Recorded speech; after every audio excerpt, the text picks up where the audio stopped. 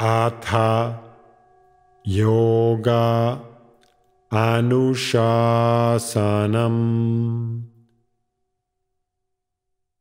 Namaste. Welcome to Unravel the Thread, a podcast for people who want to apply the Yoga Sutras to yoga practice and to life today. Available online at www.unravelthethread.com. I am Ruben Vasquez, your companion on this journey of exploration. On today's episode, Yoga Sutra 132. Sutra 32 in Chapter 1 says, Practicing single pointed focus eliminates the distractions and disturbances.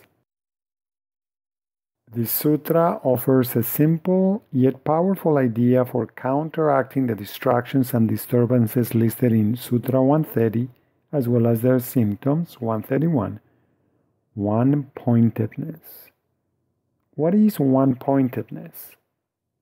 Has it ever happened that you have gotten so completely engrossed in a book or a movie that you completely forgot about the world outside when you didn't even notice outside noises or the passing of time? One pointedness is the ability to focus our attention. When you find something you are truly curious about, your attention can focus with great precision and unwavering energy. Some teachers say that one of these focal points in our present day is money and that many people around the world invest most of their attentional and material resources trying to make money. This can be a good point for inquiry. What do you invest your energy, time, and resources in? What in your life invites a deep level of dedication? Another way of thinking about the meaning of this verse is that distractions result from the suspicion that other times and places are more important than the place you are in right now. The notion that other times and places are more important is, first of all, completely unrealistic because you can participate fully only in the moment that you are in. Second, the other times and places you think you could be in are the product of your imagination, speculations based on your memories from the past. Third, when you dismiss this moment, you discount the elegant synchronicity of thousands of events orchestrating this moment to be exactly as it is. Indeed, you may be ignoring that whatever it is that you notice may be something that is tailored to, to you and your situation. If you find yourself constantly distracted, you can direct your single pointed focus to examine your inability or unwillingness to accept this moment as it is, in order to reveal the distraction that keeps pulling you away. Knowing the distraction you can allow it to keep disrupting your commitment, or you can inquire into it using the simple questions Is there anything wrong right here and now? Is it within my power to change what is wrong? If you can change it, just do it right there and then. If something is beyond your immediate control, then it is wise to surrender your illusion of control. As it was mentioned in Sutra 112, the journey towards dynamic balance requires the complementary approach of doing and being.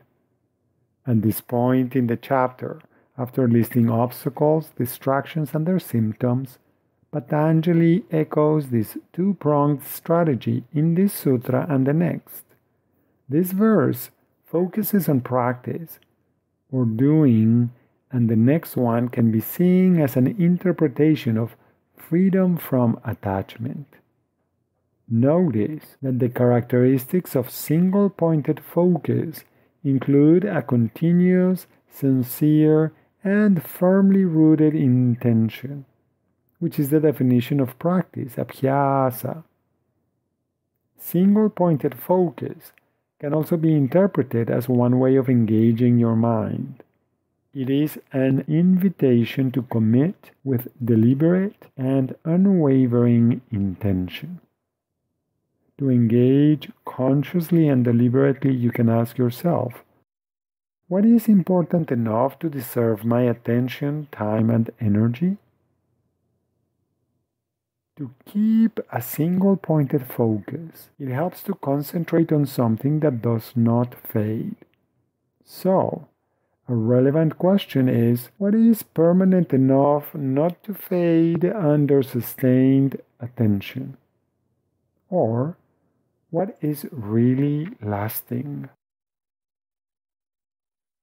As usual, one more way of exploring the meaning of this sutra is by chanting it. You can choose to chant in its traditional form with all the words in the sutra coming together. Tat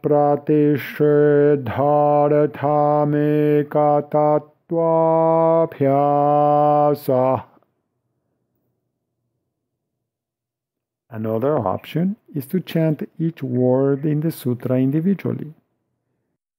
Tat प्रतिषेध अर्थम एका तात्वा अभ्यास।